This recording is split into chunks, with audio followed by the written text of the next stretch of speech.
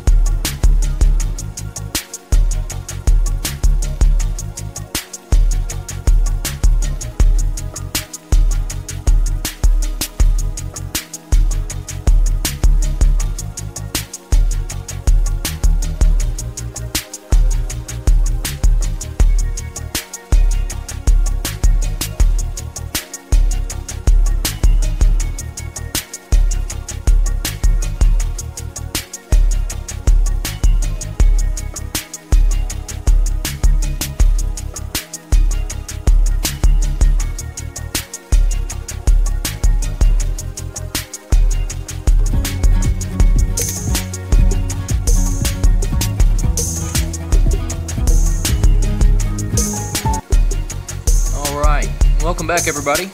Today I'm going to show you um, one of my favorite tools that I use. The plier portion actually, see if I can do this one-handed, actually slides out the end. Welcome back to the Tool Crib. Today we are going to be looking at the Leatherman Charge Plus Black.